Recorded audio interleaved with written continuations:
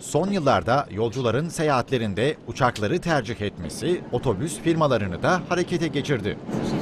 Bir otobüs firması Uçak Büs ismini verdiği projeyle seyahatte VIP hizmeti başlattı. Yolculuk boyunca masaj yapan koltuk, sıcak yemek, kahvaltı, sınırsız çay, kahve ve her yolcuya bir iPad imkanlarından yararlanmak mümkün. Otobüste uçaklarda dağıtılan seyahat kiti de var. İçinde seyahatte lazım olabilecek her şey var. Ayakkabı, poşeti, çorap, uyku bandı, kulak tıkacı, hatta diş macunu ve diş fırçası bile mevcutmuş içinde. Sadece yolculukta değil, öncesinde de VIP hizmeti veriliyor. Evlerinden VIP shuttle'larla e, misafirlerimizi alıyoruz.